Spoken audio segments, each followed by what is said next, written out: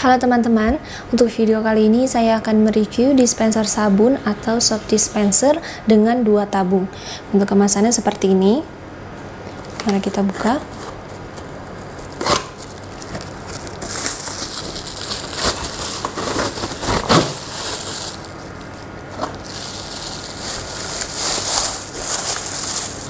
Di sini ada dua tabung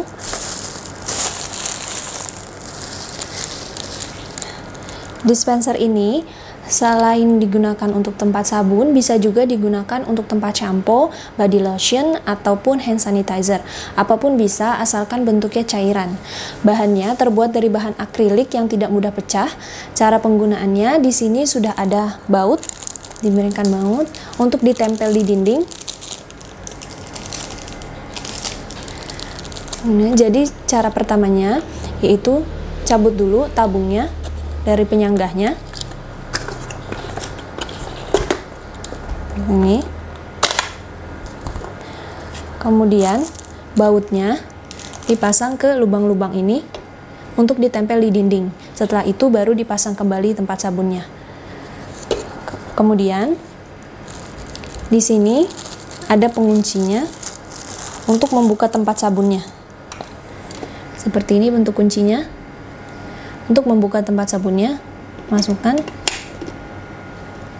seperti ini. Dikunci kembali, tidak mudah dibuka.